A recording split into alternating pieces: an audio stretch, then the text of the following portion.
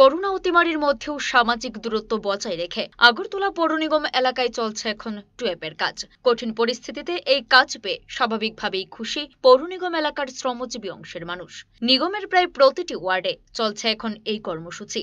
ব্যতিক্রম নয় পুর নিগমের পঁয়ত্রিশ নং ওয়ার্ডও। টুয়েপের কাজ প্রসঙ্গে কথা বলতে গিয়ে বৃহস্পতিবার পঁয়ত্রিশ নং ওয়ার্ডের পারিষদ ডালিয়া সিনহা পৌর নিগম কর্তৃপক্ষের বিরুদ্ধে একরাশ ক্ষোভ উগরে দিয়ে বলেন, বিজেপি পরিচালিত ওয়ার্ডগুলির সাথে পক্ষপাতমূলক আচরণ করছে পৌর নিগম কর্তৃপক্ষ। প্রতিটি কাজের ক্ষেত্রেই চরম গাফিলতি। আগে টুয়েপের কাজে কোনো সম্পদ তৈরি করা হতো না। এখন সম্পদ তৈরি করার উপর জোর দেওয়া হয়েছে। এদিন পারিষদ আরও জানান, স্থানীয় কিছু লোক কাজের বিরোধিতা করছে। বিগত দিন এই ওয়ার্ডে ব্যাপক অনিয়ম তৈরি হয়েছে। সমস্ত প্রতিকূলতাকে উপেক্ষা করেই পঁয়ত্রিশ নং ওয়ার্ডের উন্নয়নের কাজ ধারাবাহিকভাবে চলছে। সেইগুলোর জন্য প্রচণ্ড যুদ্ধ করে করে কিছু করে করে কিছু কাজ আমি করানোর চেষ্টা করছি ওয়ার্ডে। এটা একটা সাংঘাতিক ব্যাপার।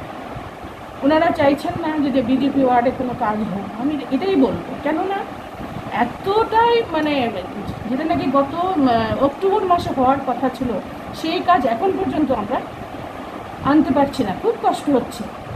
ঠিক আছে? তার মধ্যে এখানে আমাদের একটা জিনিস, এই বিশেষ করে আমার এই ওয়ার্ডে আমি বলব, কিছু স্থানীয় কিছু লোকজন আছে, যারা নাকি ডেভেলপমেন্ট কাজের মধ্যে বিরোধিতাও করে